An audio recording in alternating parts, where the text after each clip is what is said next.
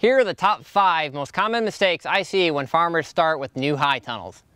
Number one is having an unclean environment within the high tunnel. Often we see farmers having pet plants or non-production type plants in the high tunnel, pruning equipment, trellising equipment, weeds, and all sorts of things that are not essential to growing the production crop. Those elements all are places that can harbor insects and pathogens causing problems down the road. Number two is having a site that was improperly prepared or having a high tunnel on the wrong site.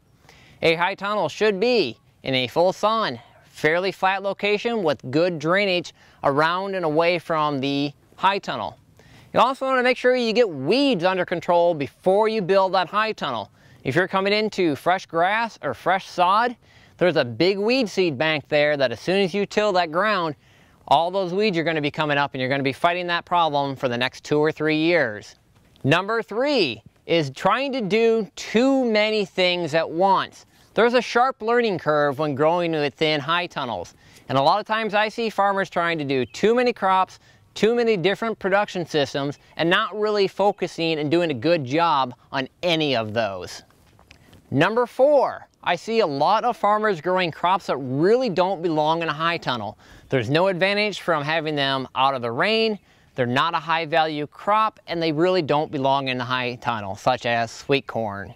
And number five, growers will not do a good job opening up the high tunnel and cooling that high tunnel and getting airflow going throughout that high tunnel. You've got to open up that high tunnel. You don't need it to be 90 degrees in there. Shoot for 75 to 85 degrees. And you also want to make sure that air is moving through that high tunnel. Very commonly do I see either poor pollination from it being too hot in the high tunnel or a lot of leaf mold on plants from not getting enough airflow moving through that high tunnel. So watch out for these five common mistakes within your high tunnel.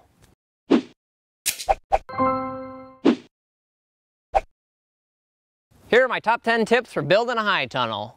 Number one, make sure that you have a suitable site. Control the weeds before building the high tunnel, make sure it's flat, and make sure it's well drained.